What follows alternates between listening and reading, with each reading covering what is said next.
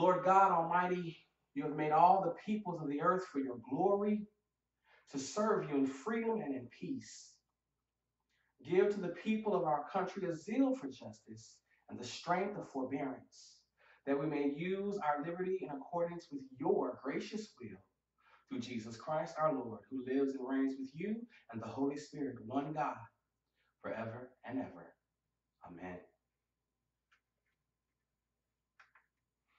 The Holy Gospel of our Lord Jesus Christ, according to St. Mark, chapter 12, verses 13 through 17. Glory to you, Lord Christ. Then they sent to him some Pharisees and some Herodians to trap him in what he said. And they came and said to him, Teacher, we know that you are sincere and show deference to no one, for you do not regard people with partiality, but teach the way of God in accordance with truth. It is lawful, or is it lawful, to pay taxes to the emperor or not? Should we pay them or should we not? But knowing their hypocrisy, he said to them, Why are you putting me to the test? Bring me a denarius and let me see it. And they brought one. Then he said to them, Whose head is this? And whose title? They answered, The emperor's. Jesus said to them, Give to the emperor the things that are the emperor's, and to God the things that are God's. And they were utterly amazed at him. The gospel of the Lord. Praise to you, Lord Christ. So it is November 3rd, 2020, Super Tuesday, Election Day. Um, what I think is perhaps the, I know we tend to say this almost every election, but um, once again, yet again, this is probably the most important, critical, vital election of our lifetime. Um, and in light of that, we uh, have read to you Mark chapter 12, verses 13 through 17. And this is a, a slightly political passage, if you will, because the uh, the hypocritic uh, Pharisees and Herodians um, they they wanted to ensnare Jesus with this political question of whether it was right to pay taxes or not.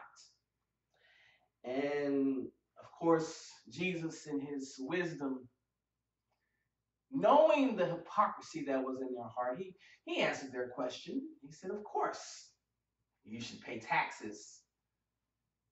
But watch this. He said, Give to the emperor, who at the time was Caesar, right? Or, or if we were to transpose that to our time, it would be give to uh, the IRS, right?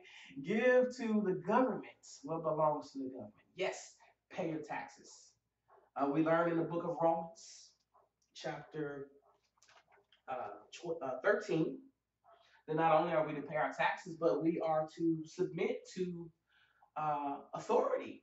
We are to obey the laws of the land, not only um, out of fear of punishment, uh, but also just out of conscience that we should obey the laws. And so we see over and over again uh, scriptures call to us and uh, uh, through Christ, through Christ Jesus and Christ Jesus pointing back to the scripture, constantly reminding us to again pay our taxes, meet our financial responsibilities, and to follow the laws of the land. However, there is another responsibility that God calls us to, and that is what today is all about. Um, in the United States of America, we have the great privilege to choose our leaders. Uh, similarly, uh, in the very beginning of the Jewish monarchy, when uh, God would raise up prophets, and those prophets were to hear from the Lord. And when they chose, or perhaps in today's vernacular, you might say, nominated a political leader or prospective political leader. Um, that leader was to care for the people of God. That leader was to ensure that righteousness was done. That leader was to ensure that justice was served.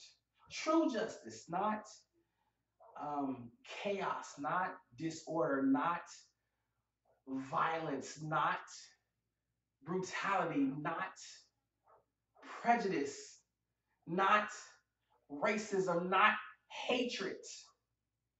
All the things that we have been suffering in these great United States for the past four years.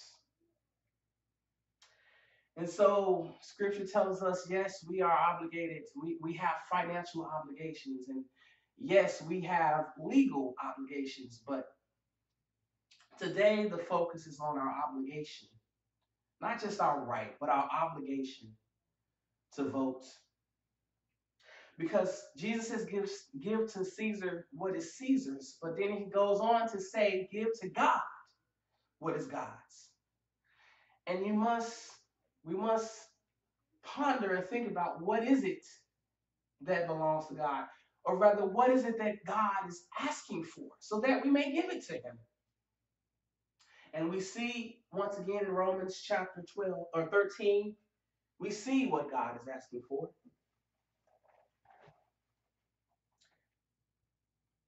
He says in uh, Romans chapter 13, verse 9, the latter part,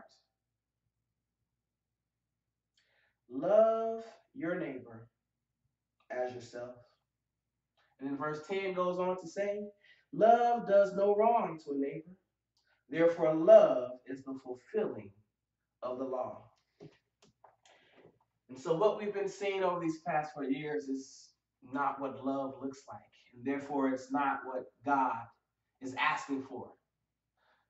So, today, November 3rd, 2020, Many of us, we voted early. I myself, I voted yesterday. But now it's up to you. If you haven't already voted, today, November 3rd, 2020, you have the opportunity to give to God what is God's. To make the right choice, to honor your responsibilities, your obligation, to ensure that we live in a just nation where people of all colors are free from oppression and brutality,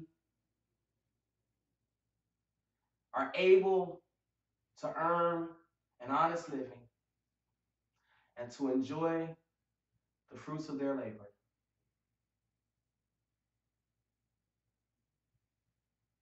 Let us pray. Almighty God, to whom we must account for all our powers and privileges, guide the people of the United States in the election of officials and representatives, that by faithful administration and wise laws, the rights of all may be protected, and our nation be enabled to fulfill your purposes through Jesus Christ our Lord. Amen.